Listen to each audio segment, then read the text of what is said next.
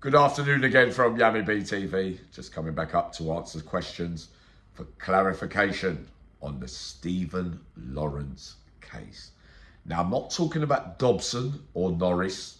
When they were in Swaleside, I got stories there as well about what happened there.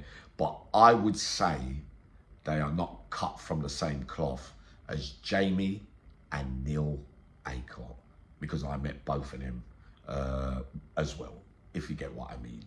They never got convicted of the Stephen Lawrence murder. So I'm not going to get into the do's and the don'ts and if they did or they didn't or whatever. They did not get convicted. You're asking me, Yammy, one of them got done in, in Wandsworth in recent times. Well, I can tell you, in 2018, I was in Wandsworth at that time before I got those sad, sad, serious injuries uh, that left me paralyzed, right? So I met Neil, Neil who is associated to a lot of people that I knew from the Cays, if you get what I mean.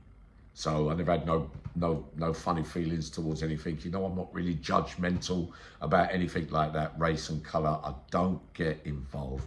All I know is he never got convicted, right? Now, spent a couple of days with Neil, a couple of weeks, months or whatever. We weren't on the main side of Wandsworth.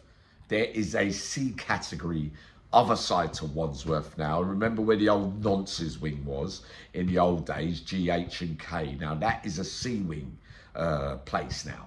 Yeah? So I was on the ones with Neil, two doors away from him, right? Talking, other people, da da da da da like we do in jail, rah da da da. Neil, a documentary came out at night, one of those nights, and there was a lot of talk obviously, it came out whilst he was in the vicinity in Wandsworth at that time. Many saying, yeah, yeah, yeah, he's got to go, mate. He's one, man there. Like, no, no, no. But as far as I was concerned, he never got convicted, right? So, you know what I'm saying about that already. Neil, uh, I forgot what charges he was on, uh, but he ended up getting shipped out somewhere.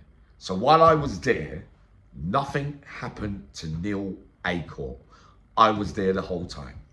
Now, I had the injuries a month or so later. Who turns up? Jamie Acourt, right? Acourt, right? Apparently was in Spain somewhere, extradited. I can't remember whether it was drugs or something like that or whatever, whatever. Uh, but I remember sitting on a visit with him.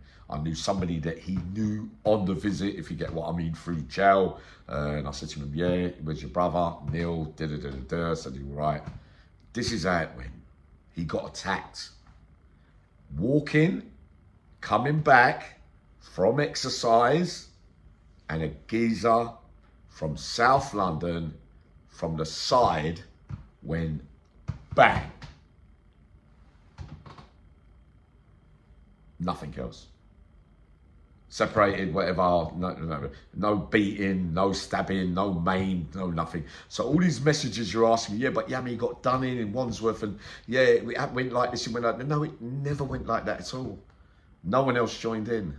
So it was a one-off thing that I saw with my own eyes. That's the best I could do. I can only tell you what I saw and then a few days later, I saw him again on a visit. He was still on normal location.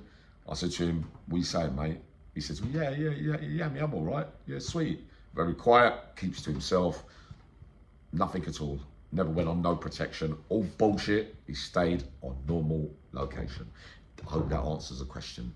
Answers the questions because many of you have been asking me because like, I'm in that frame of mind, being having the mode at the moment. I'm remembering loads. That's how it went. Yeah, got it.